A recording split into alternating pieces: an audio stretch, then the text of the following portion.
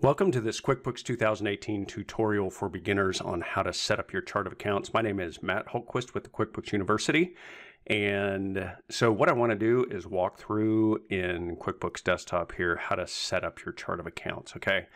So first of all, if you are not familiar with chart of accounts, I want to show you what that is. All right, so the, the chart of accounts uh, really forms the basis. And let me go over here. You'll see an icon on your desk on the desktop here on the flow chart that says chart of accounts.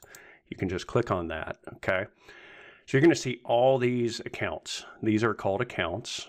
Okay. And these are over here the types of accounts. Okay. This gets into accounting and how you classify things. And the chart of accounts is really important because it forms the basis for how you're going to classify all your transactions uh, in QuickBooks. And then these accounts get all put together and they get put on your financial statements, which are your profit and loss and your balance sheet. Okay. So, what you're going to notice in this chart of account listing is we have, uh, we start off with bank accounts. All right. Accounts receivable, other current assets, etc. So, the balance sheet goes from here all the way down to equity. Okay. And then the profit and loss starts here with income and goes all the way down to the other income, other expense, etc. And then you'll see you have some non-posting items down here, which are estimates, purchase orders, and sales orders. These do not get posted to your accounts or your financial statements until uh, something uh, like actual work or something like that happens. Okay, so these are what's called non posting. All right. Okay, so let me show you quickly. So you see here all these income, cost of goods sold, expense accounts. This big listing of accounts here. If we go over to reports and I pull up the profit and loss standard, you'll see that here are all those accounts. Okay. So depending on the time period and what you put in here for your profit and loss report, um, all the transactions that you enter into QuickBooks get assigned to a specific account. And then uh, once it's all gathered in these specific accounts, the profit and loss in the balance sheet, uh, in other words, your financial statements, uh, summarize all of this information and put them onto a report, okay, for a time period for the profit and loss in this case. All right, so that's why the, the chart of accounts is, is super, super important, okay? Now, how to get this thing set up on the front end. Uh, when you set up your QuickBooks file, it's going to give you a, a, basic chart of accounts depending on your industry, which is a fantastic place to start. All right. Now, as you uh, progress and you add transactions to QuickBooks and, and certain things, you're going to find that there are accounts that you need to add and there are accounts uh, that you don't need. Okay. So first things first, what you're going to notice here is that some of these are indented. Okay, these are called sub accounts. All right.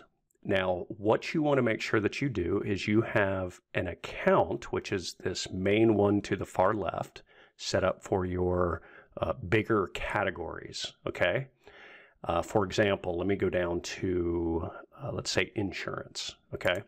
So insurance is an account, but then we've got some detail that we want to add in here. These are called sub accounts, and it's very, very important. You want to make sure that your main accounts, you have as few as possible main accounts, okay, like insurance, interest expense, payroll expense. And then you can add as much detail as you want to these sub accounts, okay?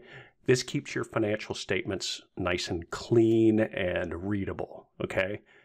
What I see far too often is that uh, people will start adding regular accounts for all of these sub accounts. Okay, so they'll just create an account for literally almost everything that they do.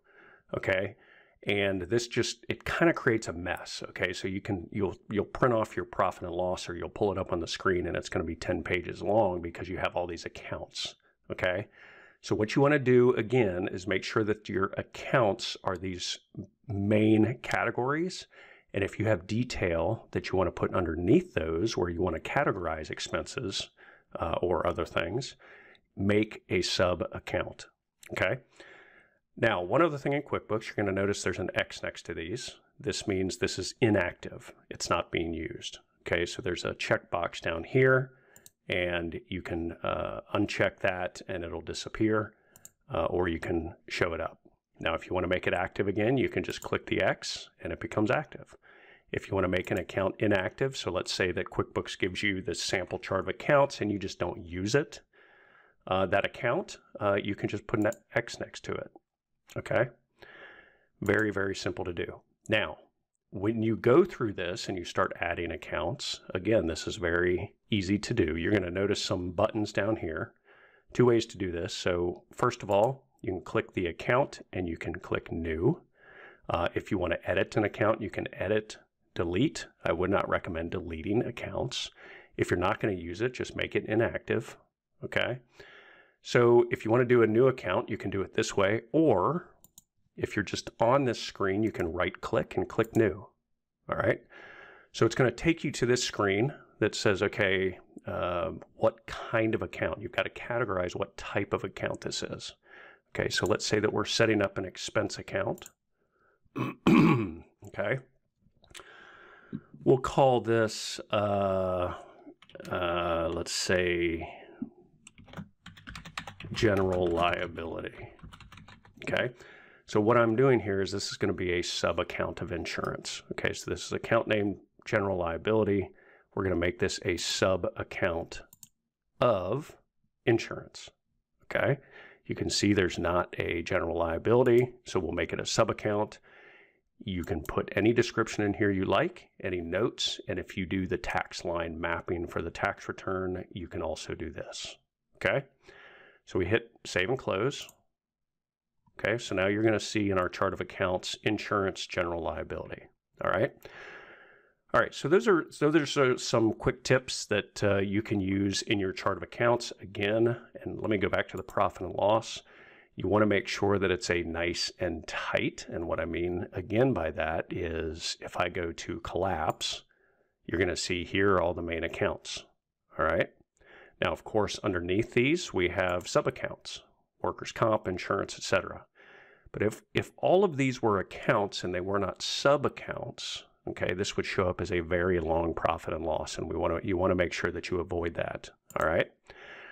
All right, so for more uh, QuickBooks training, head on over to the QuickBooks University at qbuniversity.org uh, where members who purchase the training for QuickBooks Online or QuickBooks Desktop, I answer all their questions uh, personally and uh, help them out and get their QuickBooks set up right and running as efficiently as possible. Again, it's qbuniversity.org.